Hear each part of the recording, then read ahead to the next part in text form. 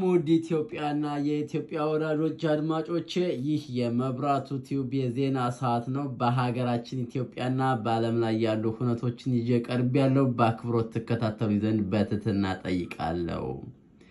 ጎንደር አማራ ክልልን ብሎም ኢትዮጵያን ለማተራመስ የዘመተውን የትግራይ ወራሪ አሸባሪ ቡድን ለመፋለም እቤቱ የቀረ ጥቁር ውሻ ይውለድ ብሎ ተማዋል። ህዝባዊ ሰራዊቱ ፈጥሮ እየተመመና ለድል እየተቃረበ መሆኑ ታወቀ። በዚህም ከዋግ ኢትዮጵያዊ ጋር በመተባበር አሸባሪውን ድባቅ እየመቱት ነው። የአዲስ አበባ ፖሊስ ከፖሊስ ደንብ ጋር የሚመሳሰሉ አልባሳትን መጠቀም በጽኑ የተከለከለ ነው ሲል አሳሰበ። ይህን አድርጎ የሚገኝ ማንኛውም ነዋሪ ለእስርና ለእንግልት ቢዳረግ ፖሊስ ተጠያቂ አይደለም ብሏል። በተጨማሪም አሸባሪው የህወሓት ታጣቂ ቡድን በአማራ ክልል ሰሜን ወሎ እና ደቡብ ጎንደር ዞኖች ንጹሐንን መግደላቸውን ሆን ብሎ የንብረት ዘረፋና ውድመት መፈጸማቸውን ማረጋገጡ የኢትዮጵያ ሰብአዊ መብት ኮሚሽን ኢሰመኮ ዛሬ ባወጣው ሪፖርት አስታውቋል። የተፈጸሙ ጥሰቶች የጦር ወንጀል ስለመሆናቸው አመላካች ሁኔታዎች እንዳሉም ኮሚሽነር ዳንኤል በቀለ ገለጹ። የአዲስ አበባ ወጣቶች ከሰላምና ጸጥታ ኃይሎች ጋር በመቀናጀት ለከተማዋ ሰላም እያበረከቱት ስላለው አስተዋጽኦ የከተማዋ አስተዳደር ወጣቶችና ስፖርት ቢሮ ኃላፊ አቶ አብርሃም ታደሰ ምስጋና አቅርበዋል። የከተማ ወጣቶቹ ግንባር ድረስ በመዝመት ለመከላከያ ሰራዊቱ ደጀን በመሆን የተፈናቀሉ ወገኖችን በመደገፍ ደም በመለገስና የአካባቢያቸውን ሰላም በማስከበር እያበረከቱት ያለው አስተዋጽኦ የቢሮ ኃላፊውን አስደንቀዋል።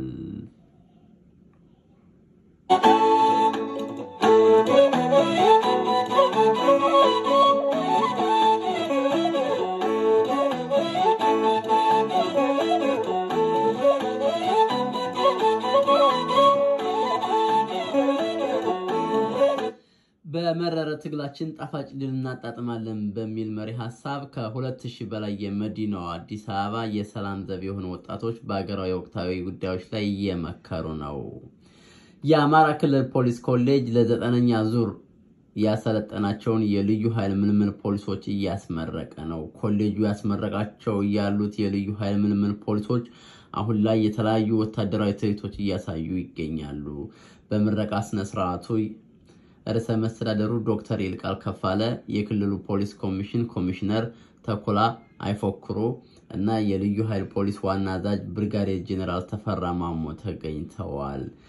በተጨማሪም የገቢዎች ሚኒስቴር እና በአማራ ክልል የህልውና ዘመቻ የስልጠና ማዕከላት አስተባባሪ አቶ ላቃያሌው እንዲሁም የአዲስ አበባ ከተማ አስተዳደር ምክትል ከንቲባ አቶ ጃንጥራር አባይ ጨምሮ ሌሎችም የፌዴራልና የክልል ከፍተኛ የስራ ኃላፊዎች በምርቃቱ በመገኘታቸው ታውቀዋል።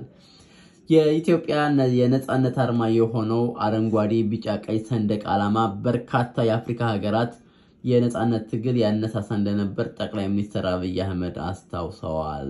ጠቅላይ ሚኒስትሩ በትዊተር ገጻቸው አፍሪካ ከእውነትና ከኢትዮጵያ ጎን መቆሟን ነው የገለጹት።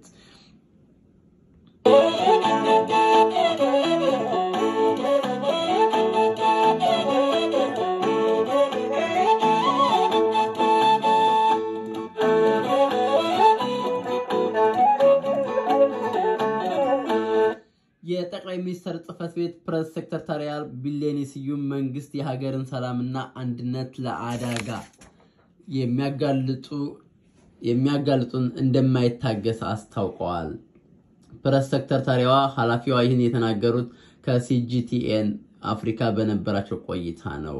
የተባበሩት መንግስታት ድርጅት ውስጥ የሚደነቅ ስራ የሚሰሩ እንዳሉ ሁሉ በአፍራሽ ተግባር ውስጥም በመሳተፍ የአሸባሪውን ህወሓት ተልዕኮ የሚያስፈጽሙ ተገኝተዋል ብለዋል።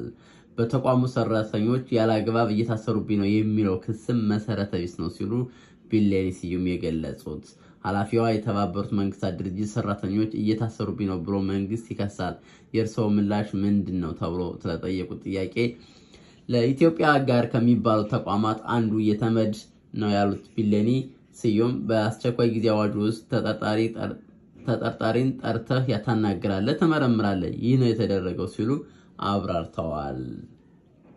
የቀድሞው የናይጄሪያ ፕሬዝዳንት እና በአፍሪካ ቀንድ የአፍሪካ ህብረት ልዩ መልእክተኛ ኦሎሴንጎ ኦባሳንጆ ወደ ኢትዮጵያ መምጣት መንግስት እንዴት ይመለከተዋል ተብለው ተጠየቁት ተጨማሪ ጥያቄም የአፍሪካን ህብረት ጥረት ለአፍሪካ ችግር አፍሪካዊ መፍትሄ የሚለውና የህብረቱን ውሳኔ በሚገባ እናከብራለን ብለዋል ብለኔ። ምዕራባውያን አገራት መገናኛ ብዙሃኖች በኢትዮጵያ ላይ የከፈቱትን የሐሰት መረጃ ዘመቻ የሚቃወም ሰላማዊ ሰልፍ ነው በተባለው በካናዳ ቶሮንቶ ከተማ በሰፊው እየተካሄደ ነው።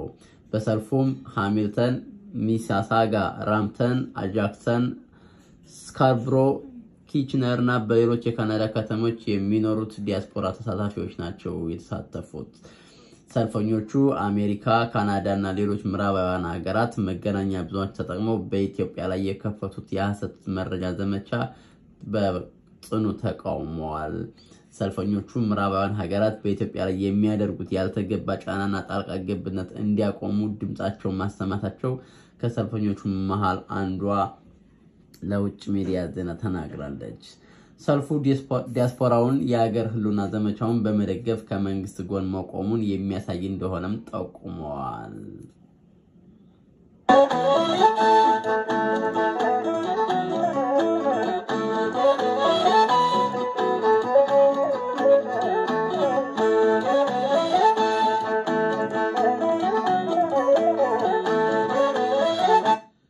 ወደ ውጭ ዜና ስናልፍ አድማጮች አስትራዜኔካ የሚያመርተው የኮቪድ-19 መከላከያ ክትባት ያለ ትርፍ ለሀገራት የሚያሰራጭበትን አሰራር ሊቀይር እንደሆነ ተሰምቷል። ግዙፉ መድኃኒት አምራች ኩባንያ ከቀጣዩ የፈረንጆች 2022 ዓመት ጀምሮ ተግባራዊ የሚሆን ተከታታይ የንግድ ስምምነቶች የተፈራረመ ሲሆን ክትባቱ ሽያጭ መጠነኛ ገቢ እንደሚያስገኝም አስታውቋል። ሆኖም ኩባንያው ለድሃ ሀገራት ክትባቱን ያለ ትርፍ ማቅረቡን እንደሚቀጥል ገልጸዋል። ኩባንያው ከዚህ ቀደም ከክትባቱ ገንዘብ ለማግኘት አቅዶ የነበረው ኮቪድ-19 ወረርሽኝ ስጋት መሆኑን ካበቃ በኋላ ነው። የኩባንያ ዋና ስራ አስፈጻሚ ፓስካል ሶሪዮት ወረርሽኙ ወደ ተወሰኑ አካባቢዎች እየጠበበ መምጣቱን ተናግረዋል።